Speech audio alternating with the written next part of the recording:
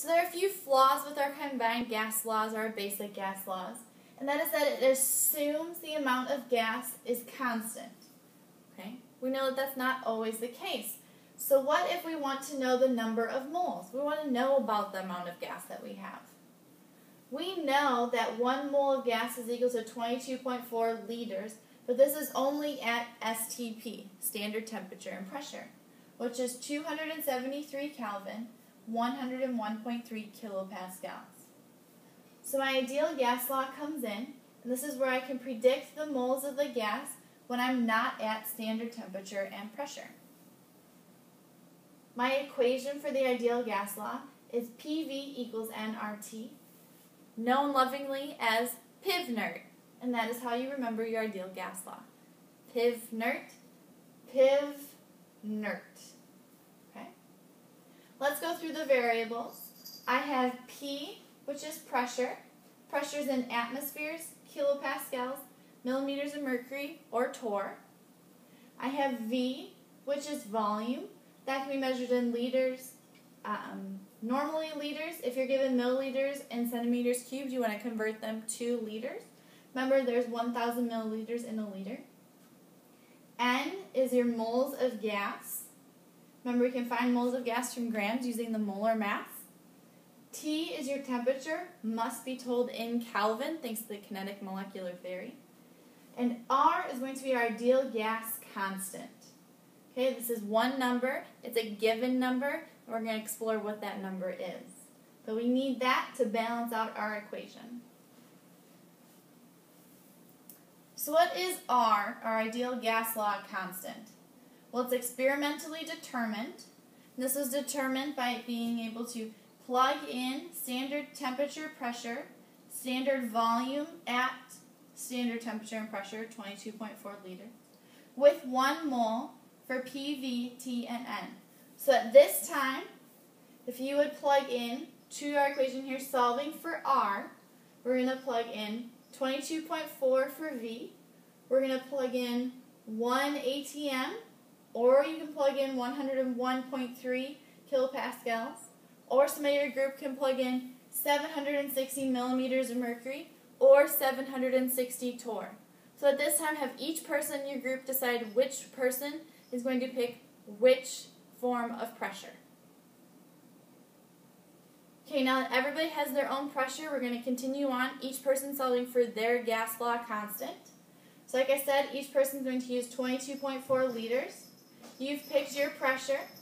You're going to put 1 in for our moles of gas, and you're going to put in 273 Kelvin for your temperature. Take a moment to solve for R. Once you've solved, each person in your group is going to explain or tell the other members what they got and what their units are on R. That's very important. Okay, you should have been able to determine that if you have the units of atmospheres, your R value is 0.0821 atmosphere liters per mole Kelvin. So ATM liters is on the top, Mole Kelvin is on the bottom, it's a fraction. If you use kilopascals, you should have got 8.31 kilopascal liters per mole Kelvin.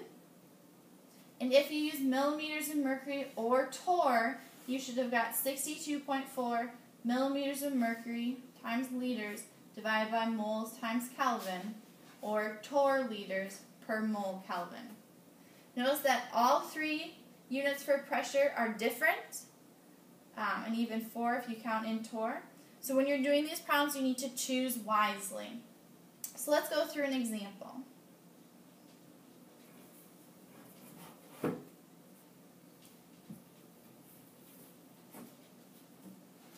Okay, example number one. We're going to calculate the volume that a 0.323 mole sample of gas will occupy at 265 Kelvin and a pressure of 0.900 atmospheres. First step is we're going to record our variables. We are starting with an N, a number of moles of 0.323 moles. We're starting with a temperature of 265 Kelvin, a pressure of 0.900 atmospheres. We are solving for volume, so volume is what we don't know. Next, we're going to choose an R value based on our pressure units. Our pressure units are atmospheres, so we need to choose to use 0.8 or 0.0821 atmosphere liters per mole Kelvin. Then we'll write out our equation and rearrange for V. So my PIV equation's here. I rearrange for V, so V is nRT divided by P. Step four, I'm going to plug and chug, remembering to use my units. So I plug in my value of my moles of 0.323 moles times my R value for R, my 0.0821 atmosphere liters per mole Kelvin, times my value for temperature, 265 Kelvin, divided completely by 0.900 atmospheres. I then go ahead and I cancel out my units to determine what are my final units on volume and to double check myself. My moles cancels out with moles in my R value. My atmospheres cancels out with atmospheres in my R value. My temperature units of Kelvin cancel out with my temperature units in my R value. And I'm left with liters. So I'm able to find that my gas has a volume of 7.81 liters. Now go ahead and try your ideal gas law worksheet number four, problem number one. You're going to set it up the same way, following the same steps, and you should get an answer of 0.0208 moles of gas.